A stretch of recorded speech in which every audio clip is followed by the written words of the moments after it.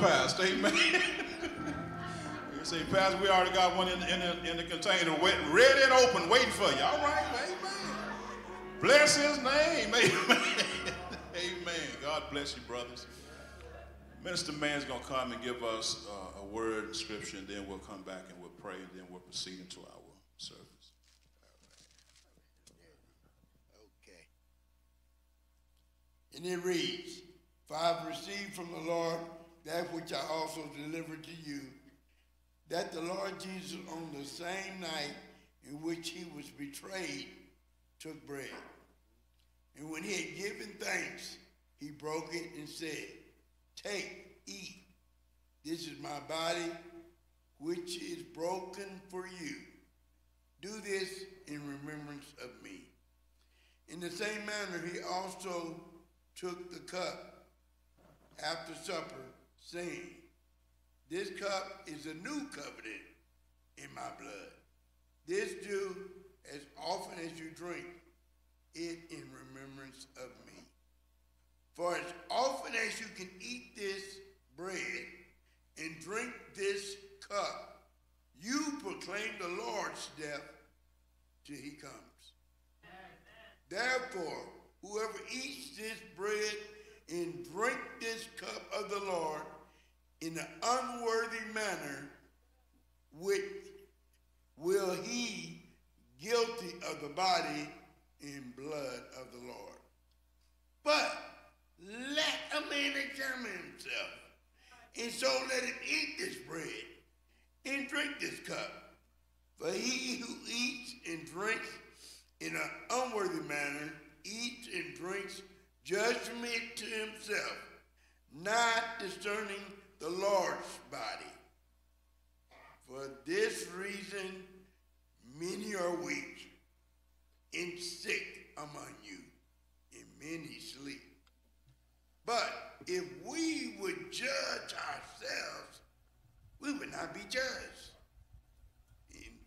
But when we ju- are judged, we are chastened by the Lord, that we may not be condemned with the world. Bless the reading of the word. Amen. Amen. So this this is what the scripture says. We come now to, as the minister said, we come now to examine ourselves. All of us know what we need from the Lord. All of us know how we have walked with God over these last 30 days or so. We need to come to this table with a clear conscience. Whatever it is, whatever it, whatever it may be between you and God, or it may be some, some person that you, you know, fail to forgive. Whatever, whatever the, the sin is, ask God to remove it. Ask God to give you clearance that you may receive the Lord's Supper. He gives us an all, he gives all of us a chance to examine ourselves. To see if we are worthy. Now, nothing makes us worthy outside of the blood of Jesus. Works can't do it. Only thing that makes us worthy is repenting of our sins, confessing that we have fallen short, and seeking God's help. Amen. Every head is bowed, every eye is closed as we go before the Lord in prayer.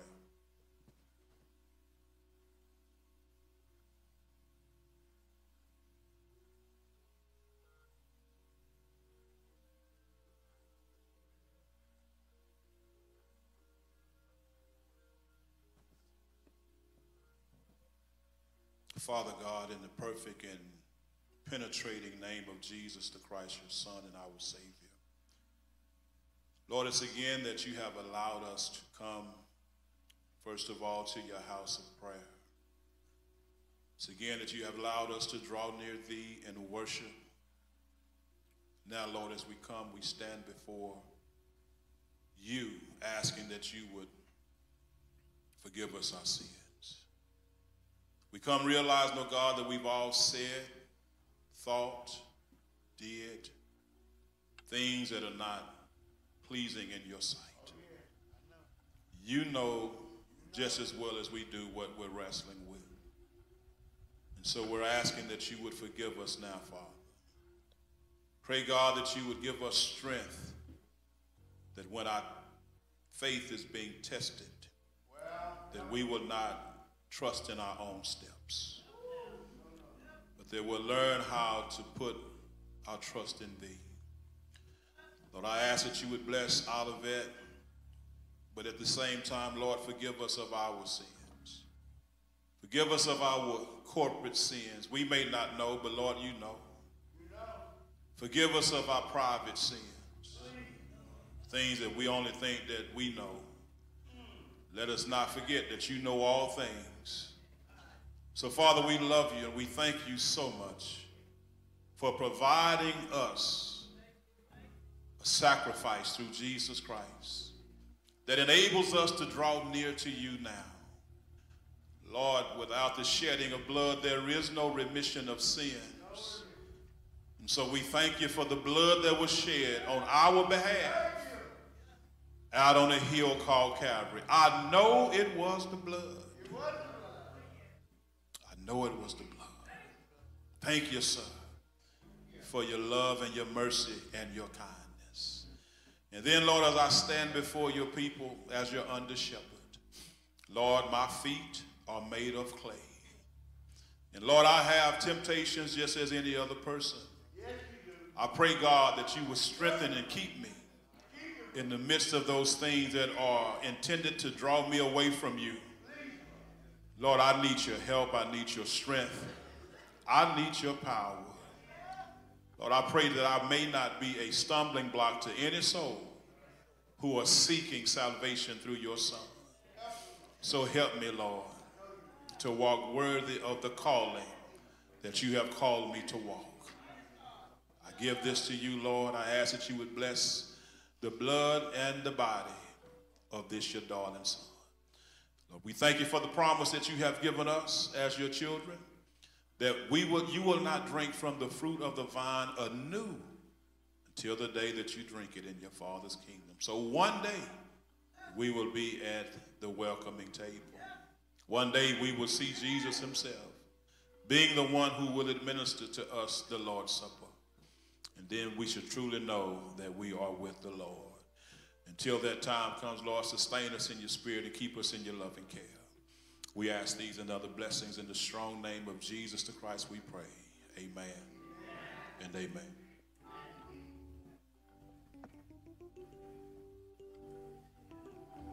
I know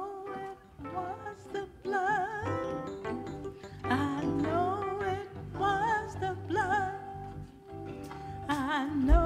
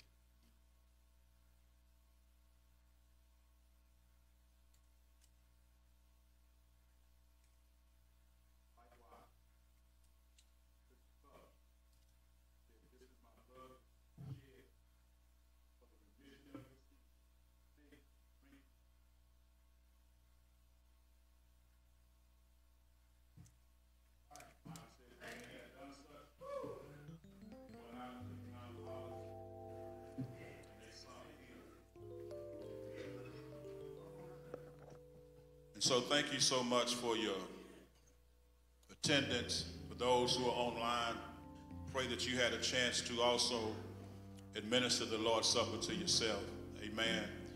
But again, we thank God for the privilege and the opportunity to be able to come to the house of the Lord and then worship Him in spirit and in truth. You can have a seat. Uh, you can have a seat. Just have a few uh, housekeeping orders to render. As Sister Leslie uh, reiterated earlier, please keep in mind Sister Sharon Husbeck Holmes as well as Sister Lisa Aldrich, both who are recovering from uh, knee procedures. Amen. And I know they're at home right now resting, so keep them in your prayers. Also, keep our sick and shut in in your prayers. Amen. If you have, if you have time, and I'm sure you do, some, most of us do, uh, contact them, send them a text, call them, and just let them know that you're thinking about them. And one thing I've learned about when you're checking on the sick, you calling them to encourage them, and they end up encouraging you. And so it works both ways. And so keep them in, in your, your mind. I also want to thank Sister Dr. Janice Todd for filling in to Sister Brenda Alexander, who was away getting some rest on last week. Amen. Sister Johnson, I'm sorry. I'm looking at her. Uh, but Sister Johnson, yeah, who's getting rest from last week, and Sister Jan, she stepped in and did everything uh, just as you know, just as it would go. So we thank God for that. Matter of fact, Sister Jan made me get the lesson out a day earlier. Amen. and so I, and so I thank God for her. I said I may have to start doing this more often. I don't have to worry about too much on Wednesdays. But again, we thank God. Now remember, third Sunday we will be traveling to the city of Italy. Uh, tickets are still available. There's still room on the bus, uh, and also we will have church here at Olivet. Uh, same time, 10:15. Uh, so those of you who are not uh, traveling with us, please don't stay at home. Come to worship. Amen. Amen. But I also want to remind you that even though we're going uh, on a road trip, don't take the Lord's tithes with you. Amen. Leave your financial contribution here before, all right? And the reason why I say that because in the summer months, uh, sometimes our giving, you know, kind of slags a little bit because people are on vacation doing other things. And so we don't want to take the Lord's money on the road. You know, we just give your tithes or have you give online or physically. Just make sure you do that. Just because we're on the road does not relieve us of being obedient to the Lord. Amen. I want I want uh, God's blessings to stay over your life. Uh, continue to do that. Amen. All right. I think that's all I have. Uh, so now let us stand. Bless this house. Bless this house.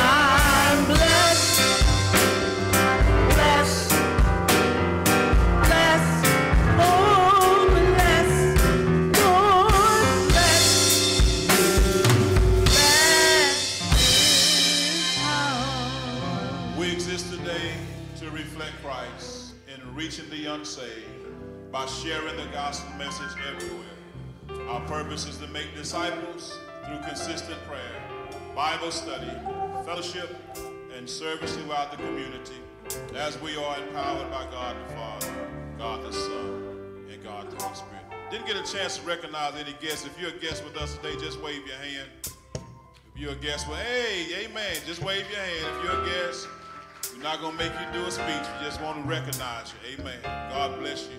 Uh, you're only a guest once, so next time you come, you're family. Amen. Amen. Amen. All right, so let us let us pray. Eternal God, our Father, how we thank you again for allowing us to enter into your house of prayer, praise, and preaching. Thank you for these who have gathered in person. Then, Lord, bless those who are listening at home. We thank you so much, Lord, for reminding us that you did it for us. You did it for me, and it makes it personal, Lord, because all of us have our own personal experience with you. Lord, I thank you for your suffering servant.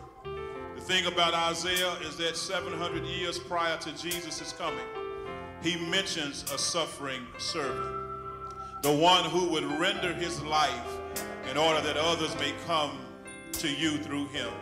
And so we thank you so much, oh God, that, that you allowed this suffering servant to come. You did it on purpose, Lord. You did it on purpose, and we thank you, Lord, for including us to be a part of your plan.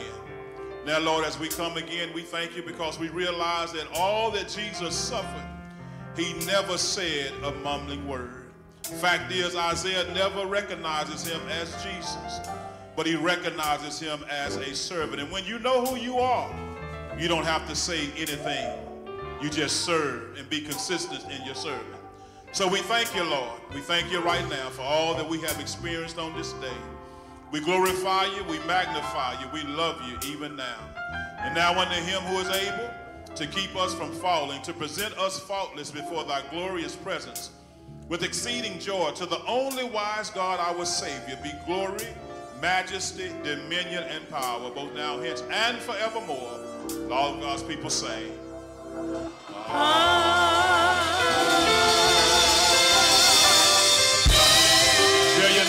neighbor, he did it for me.